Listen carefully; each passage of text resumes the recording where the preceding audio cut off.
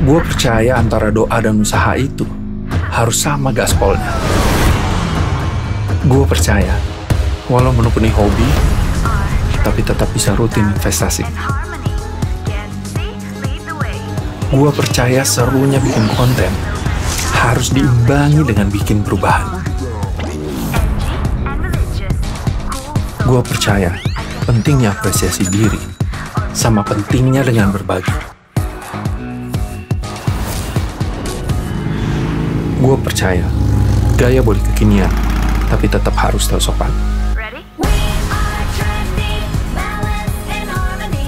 Gue percaya kalau hidup itu harus dijalani secara seimbang.